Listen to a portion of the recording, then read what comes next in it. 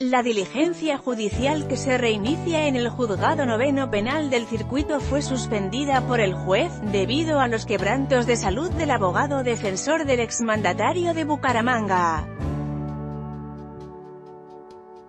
La audiencia se reanudará con el descubrimiento del material probatorio que el apoderado de Luis Francisco Borquez presentará en el juicio para tratar de demostrar la inocencia del exalcalde.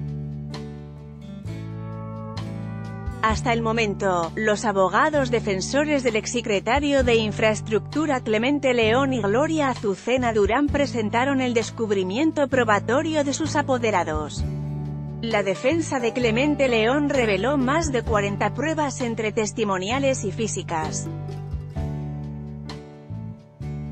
Por su parte, los abogados de Gloria Azucena se comprometieron a presentar una relación de su descubrimiento al juez y demás partes vía correo.